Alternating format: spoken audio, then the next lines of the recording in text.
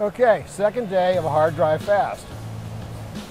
Here's where things start to mostly kind of start to change. You should be a little more fatigued because you're running out of sugars. You're running out of one of the three things the body uses to operate, sugars, proteins, and fats.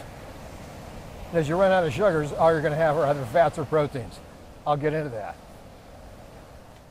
Okay, it's 36 hours into the fast. I'm feeling good.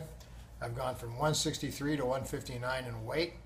Um, my mouth is a little sticky, but you know that's to be expected. And uh, things are feeling fine. I mean, I'm almost in deep ketosis. I'm one step away from that. Um, so it's working just fine. I'm feeling great. It's another wonderful day during uh, my hard dry fast. So I'll get back to you later as I uh, experience a little more of this day, but I expect a normal amount of fatigue. But really, I'm not really that tired either. Went for a nice walk last night, and uh, although it had a super lightning storm last night, um, if there's any sun, I'll try to get out in that today too. Anyway, see you later. It's pretty easy. Again, you start to lose a little energy because you're losing your primary source of fuel, which is sugar. This is where things start to change. You haven't changed yet.